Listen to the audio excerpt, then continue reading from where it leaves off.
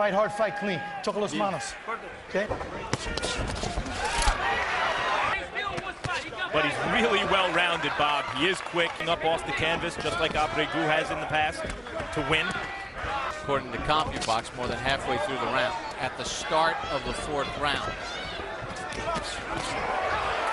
Against Nate Campbell.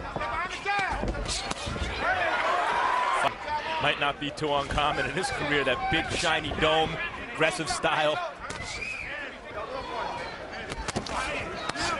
I think part of the temperament of Abregu right now is he's just trying to get a feel for the speed. Abregu, absolutely. He wants to time Bradley and land that big, big shot, and he has a big one. His ability to adapt. But it's the technique that's also gotten better. Abregu tried to right. Bradley came back to the right, and another one. 23 of the 29 fights for Abregu in his native Argentina. I mentioned Abregu is hard charging, and as the fight wears on, he enjoys oh, good right hand from Bradley. His temperament, though, he goes down in a lot of his fights. In his last trip to California in May of last year. Good right hand by Bradley. If he enjoys a slugfest, he, he, will enjoy this because that's what this is turning into. Right on the button. Combination for Bradley. The opportunity for that right hand will present itself again. Stop, stop. No reason Separate, to. Good. Okay, Bob, 20 to 18, and he doesn't keep Timothy Bradley off him. Almost knock him out in round number two. I mean, you know, if you're that big. I think Harold's right about that. Jab more often. But it's the temperament of both fighters. The proactive fighter. He, he, he dictates the pace. That right hand again, partially blocked, but Abregu still felt the effect of it. Play defense. Right hand just missed. Did not go down. Abregu doesn't use the jab or uses height to fight a fight like this. And Abregu, and there are signs that Bradley is getting a little reckless, like, for instance, that wild left hand. Most boxing observers felt heading into this fight, Abregu really can't punch. We've seen Bradley go down, and so... Abregu stepped in, Bradley countered.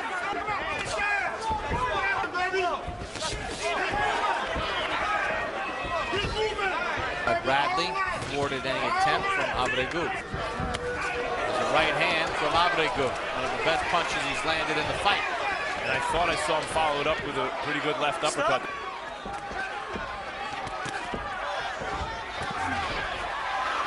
That's a slip. That's a slip. He slipped. He's trying to dart away, and that's the end of the round. The first round so far of the fight, where Abregu was actually busier according to the CompuBox numbers. Abregu went straight back. Bradley touched him with a right. We've moved into a different phase of the fight. Busy, consistently. Stop, no punching.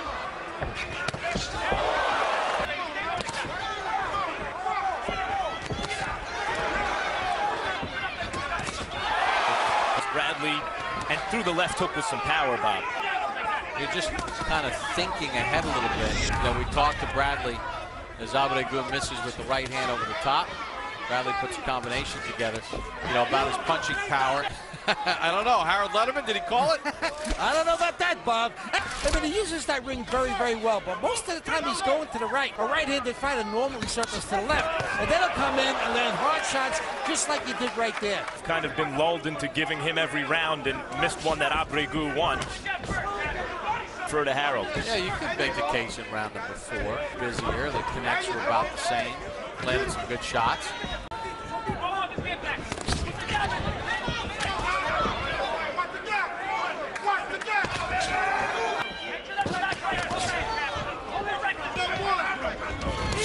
Cut's not a problem. Accidental clash of heads in round one. Abregu got a cut. The scalp line. Bradley steps Stop, in with a left. stop, and then. Good right hand to the body. yeah, Bradley's done a nice job with that. And uh, they are the NBA champions. And right now he looks Time. championship. Than his miss. Some right hands we've seen him miss a little wild. Bob, you mentioned the Lakers. Lance Armstrong, you hear that name, you think just sheer determination. And the other guy that he cited was another guy who, in his prime, was as fit as they come, Evander Holyfield. Uh, a uh, because you knew he was going to come back so hard and determination. Remember his snarl at Tyson? You're in for it. Bradley steps in with a right. Two more jabs thrown by Bradley to this point. Because Bradley has been wild at times. Oh, Oh, body good left shot. hook to the body.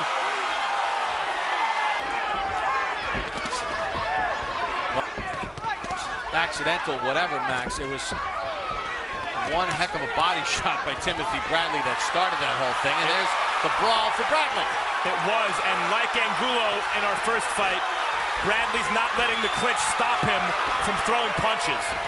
He wants to finish him off now. Left hand thumps off Abregu's head. By his own admission, he knows it's not that great, but says he turns into more of a warrior when he's hurt. Well, here we see the body shot and headbutt. First the headbutt, and that was hard and right in the jaw.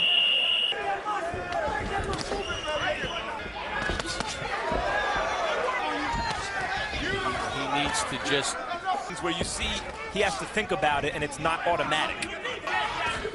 Boxing his whole life, it's automatic. See, towards the end of the round, Abregu is stalking Bradley.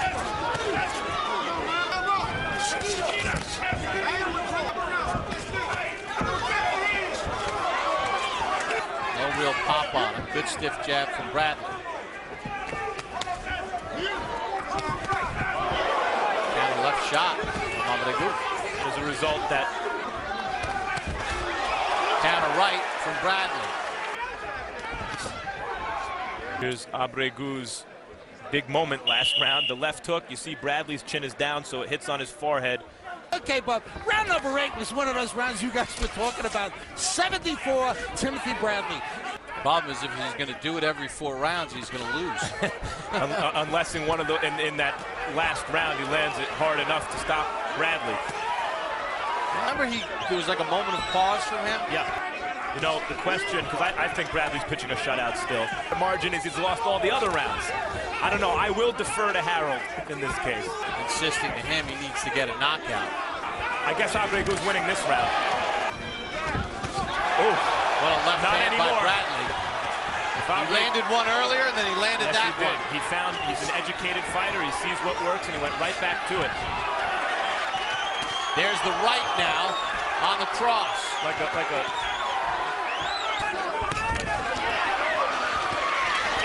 to torture the metaphor, Bob, he's in with a home run hitter, though.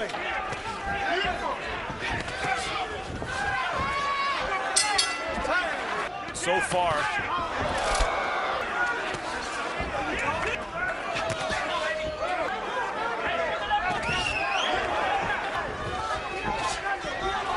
and maybe looks vulnerable enough here.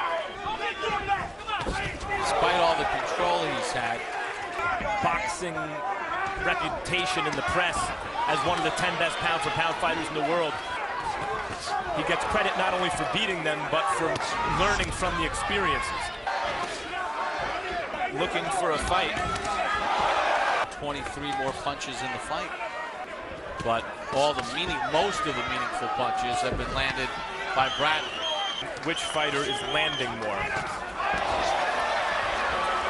Timothy Bradley, 25 and 0, taking on undefeated Carlos Abregu. Bradley, one of the best at 140 pounds, fighting tonight at 147. Bradley is the most accomplished at 140 and is the consensus, if not unanimous pick, as the best, as the number one 140 pounder in the world based on accomplishment. You're right at 140. And that's the idea here also, to see the two of them. Amir Khan, though talented, But it's incumbent upon Abregu to do something emphatic. And you can't hit the guy. I mean, it's amazing. You got to give Bradley credit for good defense in the scoring. Abregu was hurt. Bradley's landed a couple of good left hands. Too much movement, too much hand speed for Abregu to deal with. Bradley's got the fight won, and he's fighting like he knows it. Uh, Abre- Abregu Can't hit but you can't catch, though. be interesting to see what Bradley thinks of this performance. Bradley staying in harm's way against the hard-hitting Abregu. Why? Fighting smart until 20 seconds ago, and now he's just fighting. Abregu had the moments, but Bradley had the rounds. All to the winner by unanimous decision from Palm Springs, California. Still undefeated. He is Timothy Desert Storm Bradley.